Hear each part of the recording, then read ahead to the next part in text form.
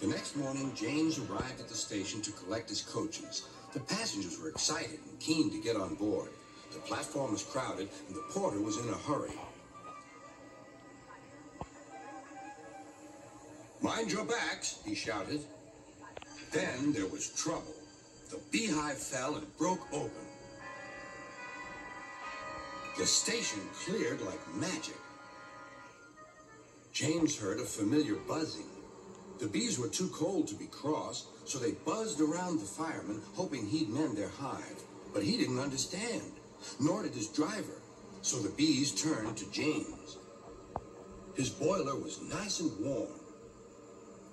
Buzz off! Buzz off! hissed James. One bee burnt his foot. Ooh! Ah! Ah! Ooh! The bee thought James had burnt him on purpose.